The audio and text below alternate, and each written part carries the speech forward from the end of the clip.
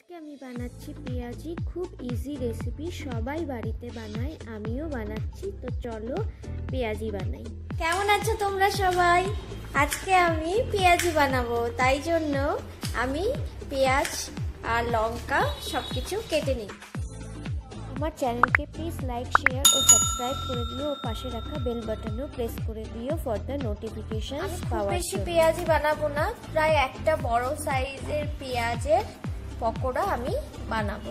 তাই জন্য আমি একটা বড় পেঁয়াজ কেটে নিই পেঁয়াজ, লঙ্কা কাটা রয়েছে, আমি দিয়ে দিচ্ছি বেসন।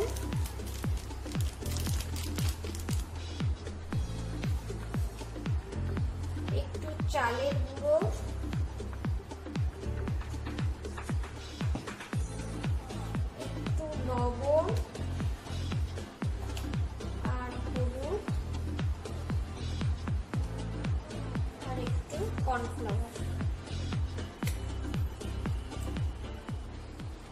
এবার এটাকে মেখে কড়াইতে তেল বসিয়ে দিয়েছি, এবার পেঁয়াজিগুলোকে ভেজে নেব।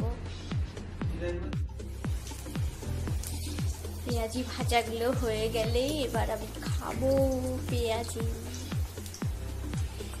পেঁয়াজিগুলো এবার ডিপ ফ্রাই হয়ে গেছে, এবার আমি পেঁয়াজিগুলোকে তুলে নেব। পেঁয়াজি কিন্তু শীত, গরম, ঠান্ডা, গ্রীষ্ম, বর্ষা সব সময় খেতে খুব ভালো লাগে। তোমরাও বাড়িতে ট্রাই করো আর আমার চ্যানেল কীরকম লাগে তো সেটা জানিয়ে দিও।